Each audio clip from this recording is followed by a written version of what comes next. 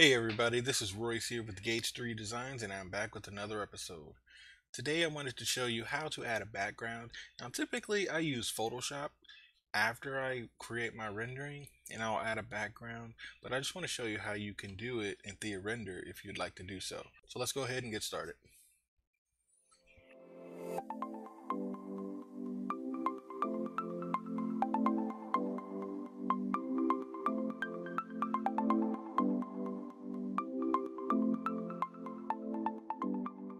So first I'll show you this website. Um, so this is HDRI Haven. Um, all of these these backgrounds and skies and everything is free. Um, so you can just go in here and search through what you want.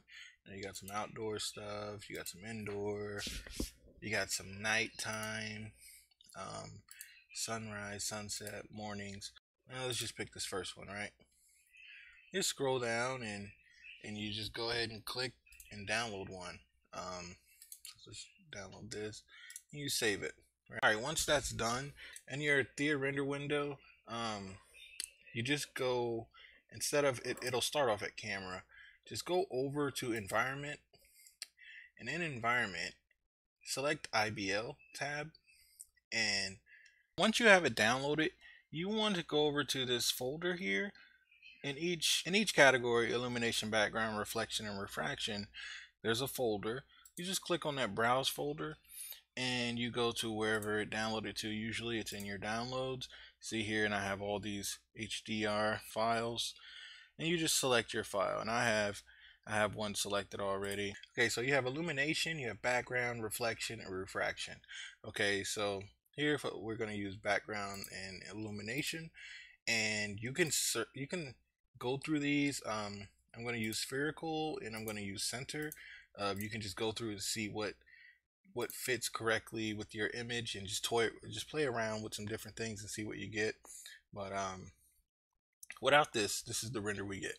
You know, you just get a dark background or you'll have your blue background, whatever settings your SketchUp is on. So let's just go ahead and see what we got here. Okay, so now we have our sky put in here. And like I said, this is something I probably would have done in Photoshop, but you know, get it done quicker or just to get familiar with the different tool panels in TheaRender. Um, play around with this. Uh, if you haven't messed around with this yet, toy around with it. Um, let's see what it does if we, instead of center, let's do spherical here and see what we get. Yeah, let's, let's try that one. Don't like that there. Yeah, let's fit. Let's see what fit does. Yeah, that's pretty decent also. So, you know, you just toy around with different images. Um, I suggest um, this website. Uh, I stumbled upon this website just looking around in the forums. Like I, I've said before, um, get familiar with with forums, the render forums, or if you're using any software, find a forum out there because it helps you, and uh, you'll see people talking about things that, hey, wow, that'll help my renders. Um, so like this is a good website. You just go to HDRIs, and you know you scroll through and select what you want. You got skies here. Just pick what you want, and you know, you can get a background. I ahead and added um, my TheaRender textures here already.